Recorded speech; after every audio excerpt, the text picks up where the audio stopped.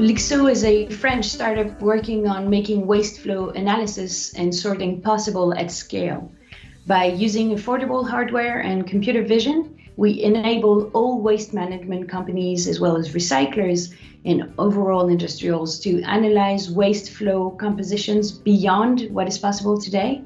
We are able to detect materials, objects, degrees of contamination, brands at scale, anywhere, and in real time. Our ultimate goal is to make recycled materials competitive against virgin materials, both in terms of price and quality. We do that by providing industrials with tools to make sure that the traded waste and materials meet the required quality and overall characteristics.